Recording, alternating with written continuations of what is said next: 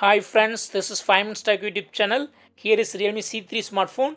In this video, we will learn how you can enable 3 finger swiping down screenshot in your phone Realme C3. If 3 finger swiping down screenshot is not working in your phone, you can set it in our settings. Just go to the settings in your phone and click on convenience tools here. Now click on gestures and motions and turn on the button against 3 finger screenshot here. And with your 3 fingers swipe down like this, screenshot is taken for taking long screenshot, you can also use this method and click on long screenshot the captured image. This is long screenshot. So in this way, you can easily enable three finger swiping down screenshot in your phone Realme C3.